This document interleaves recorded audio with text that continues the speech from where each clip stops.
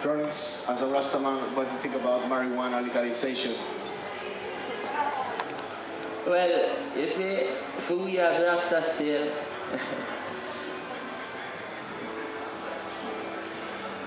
marijuana is a spiritual thing, which means in this, from a spiritual perspective, it is legal to us. That's why we are not afraid to go to jail for it. We are not really afraid of all the years, all of these brutalization. First of all, what I would like to know, what what is in all of this medical marijuana thing for all of the people who have been locked up for marijuana, beaten, humiliated, you know, what what are you going to say to the family of all of the Rastaman them over the years, you know, have been brought down to their faces for just a plant? You know what I mean? No, with the whole legalization thing, make them legalize it. Cause you have some people, them is smokers and drug addicts. Where them will always want to smoke them all kind of names. Some name of them, we hear them get herb and them thing there. The legalization is for them. But we know we just keep our little homegrown. We can still hide it. I don't have a problem. I don't need to make money from what is spiritual to me. Just like music, music is a spiritual thing. So if there's ever a time when I don't make money from music, that doesn't mean that I won't still be a musician. I won't still go around and do music from out of my pocket or out of nothing. Because I, I make music out of nothing, out of thin air.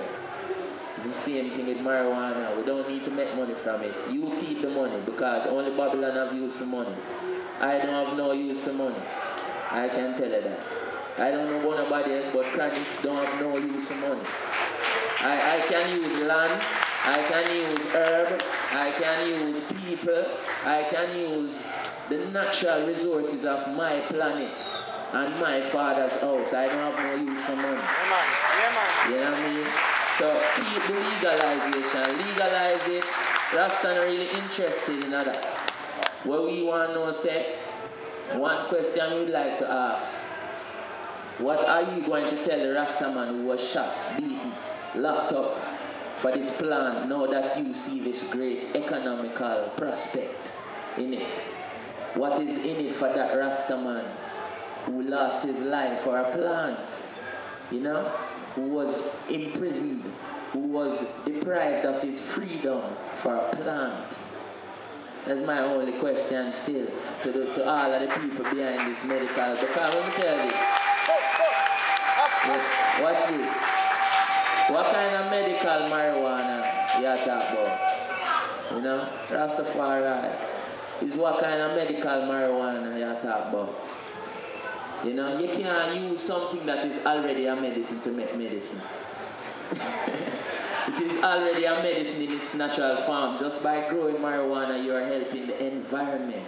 Even if you don't smoke it, just by planting it, you're doing a great deed for the environment.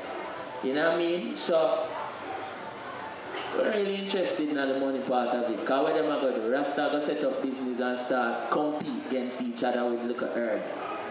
Now man, me go to the one draw and some grow in my backyard. You know? Yeah, me go to that.